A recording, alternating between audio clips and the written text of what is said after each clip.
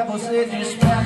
Que alguma coisa não está certa. Livros e cadernos isso se acabou E lendo você estão no computador Qual é o preço tamanho da sua memória? Histórias foram feitas pra contar. O homem só pensa em digitalizar. Mas todo momento segue seu pensamento Que ainda insiste em se manifestar. Dignidade, dignidade